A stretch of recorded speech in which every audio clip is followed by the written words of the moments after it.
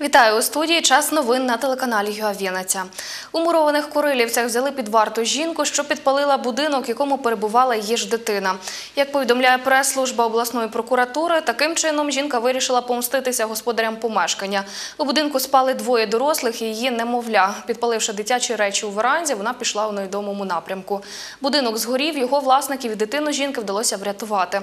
Правопорушниці повідомлено про підозру. За такий злочин передбачено покарання від 3 до 10 років позбавлення волі.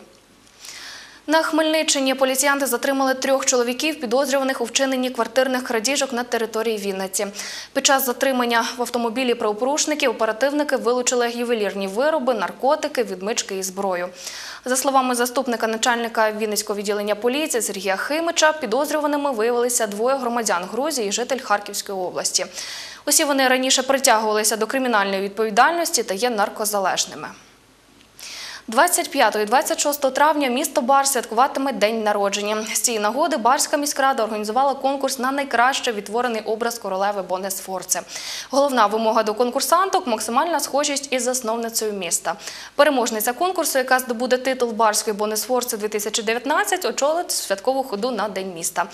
Наразі барчани активно голосують за своїх фавориток на сторінці Барської міськради у Фейсбуці. Підрахунок голосів закінчиться опівночі у п'ятницю. У Вінниці відзначили День Південного Бугу. На набережній Рошен розмістилися локації з розвагами і майстер-класами. Руслана Ткачук продовжить.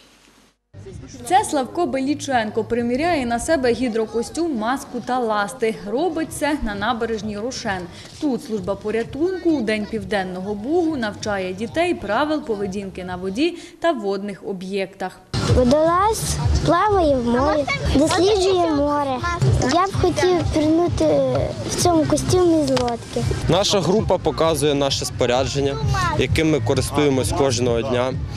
Е, Ми дітей вдіваємо, по їхньому проханню е, все показуємо, розказуємо. З собою ми привезли все, що ми використовуємо. Це костюми зимнього типу, літнього типу, е, все водолазне спорядження, боти, рукавиці, ласти, сигнальні кінці, кабель, сигнали, е, маски різних типів, зимні, літні, зв'язком без зв'язку.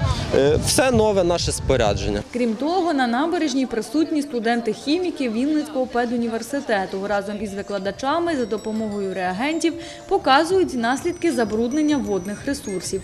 Актуальність проблеми річки Південного Бугу, особливо питної води, на сьогоднішній день є наразі дійсно такою ну, негайною. І е, саме реагенти, які допоможуть очистити річку від е, забруднення різноманітних шкідливих домішок, е, зараз на, сьогоднішній день майстер в цьому майстрі класі показують дівчатка. Якщо ми візьмемо, наприклад, е, кислоту, у нас тут є універсальний індикатор. Ми можемо ми бачимо, як змінюється зразу на кисле середовище, змінюється е, колір. Відтворити мелодію води та зобразити водний світ можна ось на цій локації. У нас майстер-класи, які проводять студенти Вінницького державного педагогічного університету імені Михайла Коцюбинського. І майстер-класи у нас з художнього конструювання, з музичного мистецтва та образотворчого мистецтва. Художнє конструювання ми конструюємо рибки, які плавають у південному бугу. Е, малюємо південний буг, який він є неперевершений, який він гарний. За рішенням басейнової ради День Південного Бугу відзначається щорічно. Цього року він припадає на 22 травня.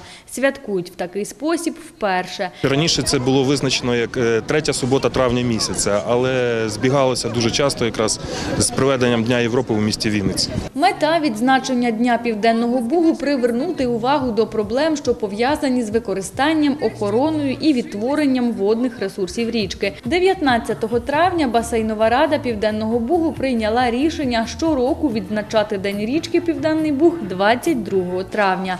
Руслана Ткачук, Олександр Базюк. Новини ЮА Вінниця.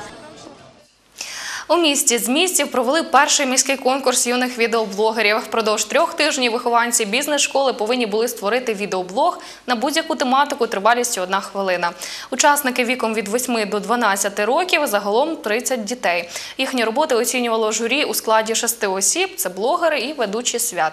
Переможців серед учасників не було, адже за словами організаторів, такий конкурс проводять для того, аби розкрити потенціал дітей і навчити їх вільно почуватися перед камерою.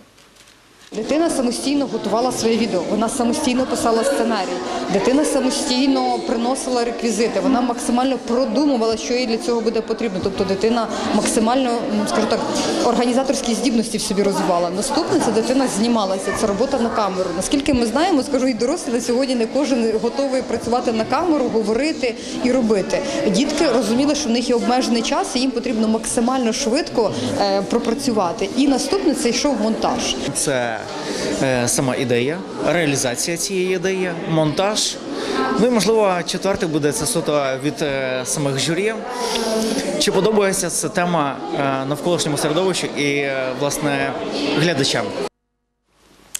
І тепер про погоду на цю годину на території Вінниччини ясно. Стопчики термометрів фіксують 15 градусів тепла в день до 23 градусів вище нуля. Опадів не очікується. Поки що це вся інформація. Наступний випуск дивіться о 8.30. Дочекайтесь.